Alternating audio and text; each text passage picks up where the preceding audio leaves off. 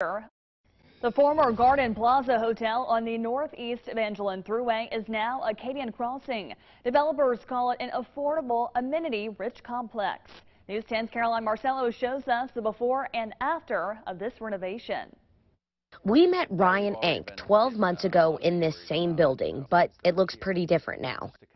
The demand for housing, the cost of, of rents are, are going way up, and by taking kind of something that was already you know, needing a renovation, we're able to come in and economically provide uh, lower rents without using any government low-income tax credits. They took the former Grand Plaza Hotel and have turned it into residential living space. It was 270 units, we converted to 217, so a lot of that is taking two units that are next to each other and, and making it one.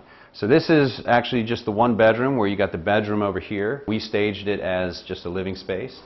And um, and kind of what we did to make it efficient as possible, or just kind of optimize all the space, is to put the kitchen over here. The building is hardly recognizable. Before, I don't know if you remember, it looked kind of like a, a 70s uh, cafe or something like that. So we, not anymore. we, we made it look a little more modern, and um, if the pool, as you said earlier, was kind of the uh, Oscar the Grinch color.